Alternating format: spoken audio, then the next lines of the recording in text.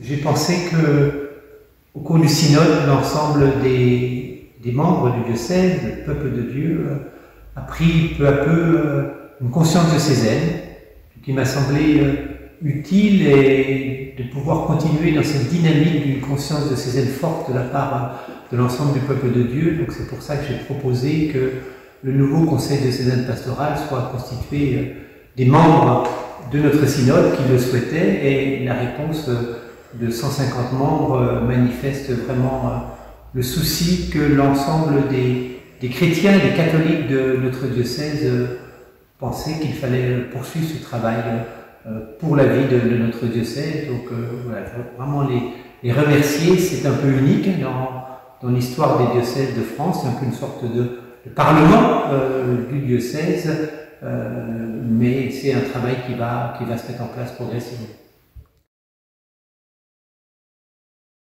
C'est vrai que c'est une spécificité du diocèse de, Besançon. La plupart des diocèses ont une formule un peu différente. Certains ont un conseil diocésain pastoral, comme nous l'avions avec euh, des délégations d'une trentaine de membres. Certains font une journée euh, diocésaine avec les acteurs principaux euh, de la vie du diocèse, mais nous avons pensé et pris la décision vraiment d'inviter largement ceux qui avaient participé à la vie de, de notre synode, parce que le temps d'échange, le temps de discussion, le temps euh, parfois d'avis différents, je crois, on fait mûrir ce travail que, l'Esprit Saint fait au cœur des membres de notre diocèse pour euh, bien sûr euh, vivre ce temps de la mission de l'Église, l'annonce de l'Évangile, la célébration, les soucis des, des pauvres.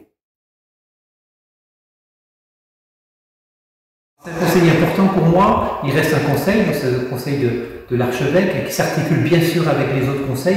Je pense en premier au conseil des prêtres, hein, qui est euh, demandé par la vie ecclésiale. Je pense aussi bien sûr au conseil de la vie euh, consacrée, au conseil euh, économique, au conseil épiscopal qui articule l'ensemble du travail de, tous les conseils. Mais dans, mon esprit, c'est vraiment le conseil du peuple de Dieu à qui je confie euh, le soin de donner quelques orientations à la fois à l'évêque et à son conseil épiscopal pour la vie de, notre diocèse. C'est vraiment un, conseil qui euh, va dans les années à venir donner les grandes orientations, donner les, éléments essentiels de la vie de notre diocèse, encore une fois dans la dimension d'évangélisation, des célébrations et des soucis des, des, plus petits, des plus pauvres. voilà, on sent bien que la première rencontre était vraiment un temps très fort autour de l'écologie. Euh, le bureau du conseil continue à travailler et donc nous nous retrouverons euh, début octobre pour poursuivre ce travail euh, d'écoute de l'Esprit Saint, d'écoute de la vie du monde et puis